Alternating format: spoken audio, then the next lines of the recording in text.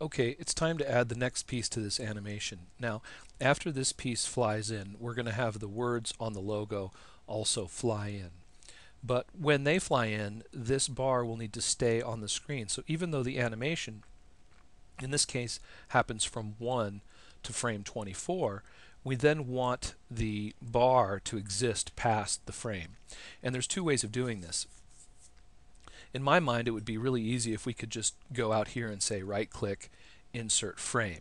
But if I do that, watch what happens. The blue color indicates that this motion tweening has been extended all the way now to 50.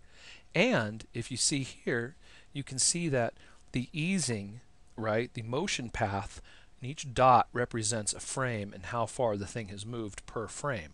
The object has moved per frame. Has been diluted by extending the um, motion tween. So in other words, it looks like this, right? But before, I'll do Control Z, you can see that over here on this frame, it looked like this, and the object was really slowing down. So what we need to do is we need to extend this this object on its life on screen so that it stays on screen but we don't want it to be part of a motion tween and this is how I'm going to do it I'm going to select the object and I'm going to do an edit copy.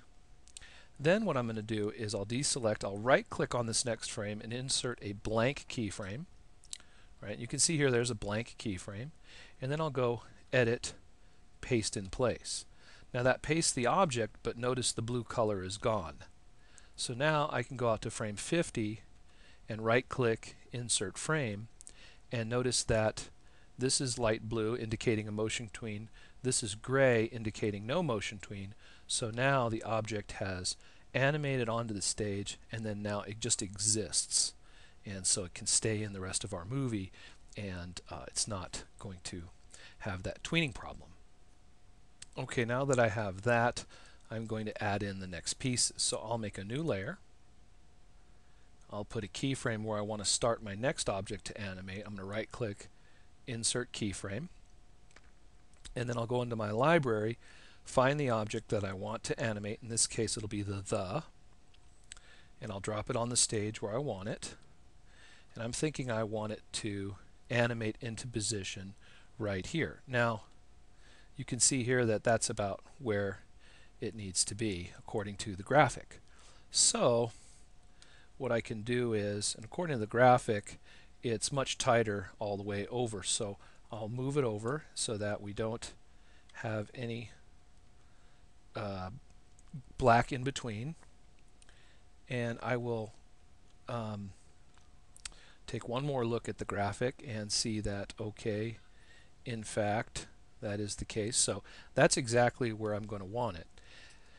So now it exists on the stage here but I want it to fly into this position. So what I'm going to do is highlight it.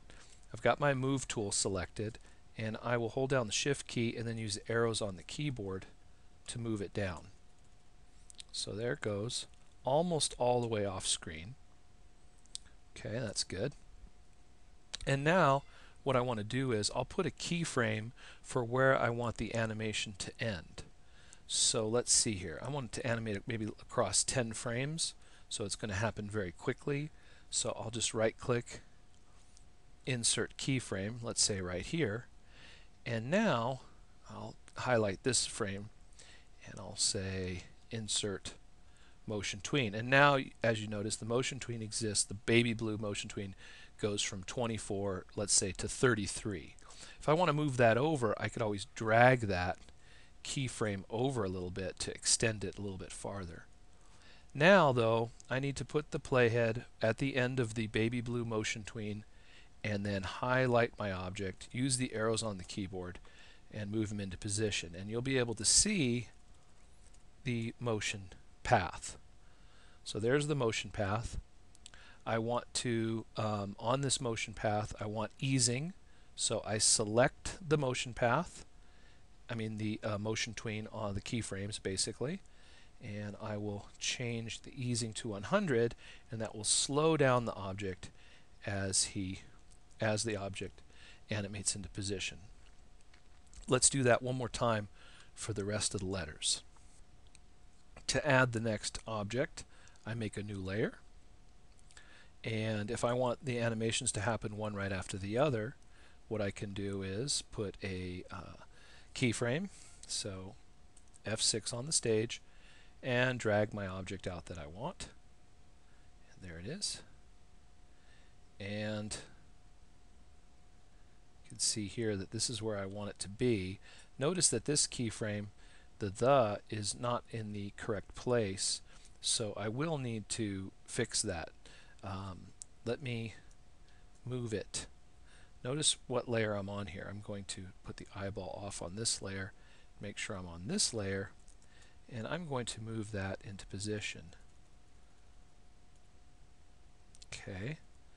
If I want to, I can double check to make sure the positions are equal.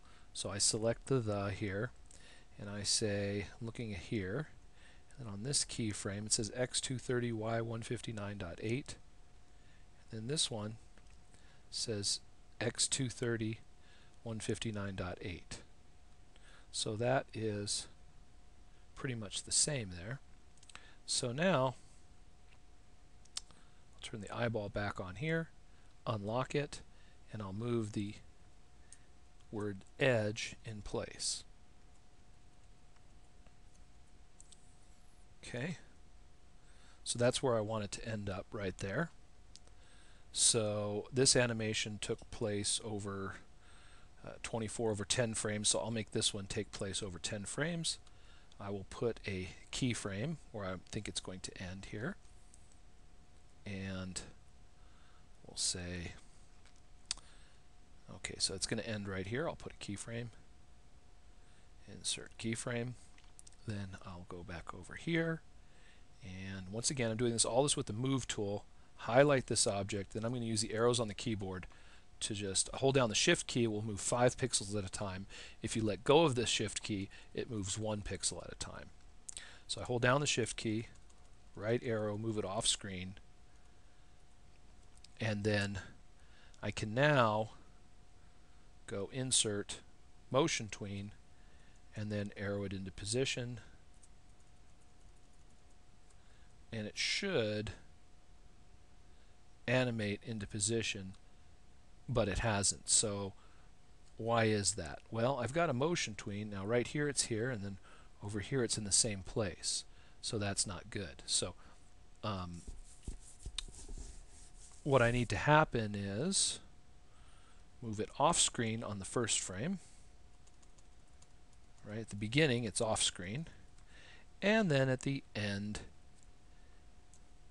use the shift key and arrow it on screen. and I want to make sure as I go from frame to frame that it doesn't move and sure enough now it moves across. I highlight my motion tween and take my easing to 100 which will hopefully slow down the animation. Alright, at the end I can play the whole thing. Control play. This moves into position and then those two slide into place.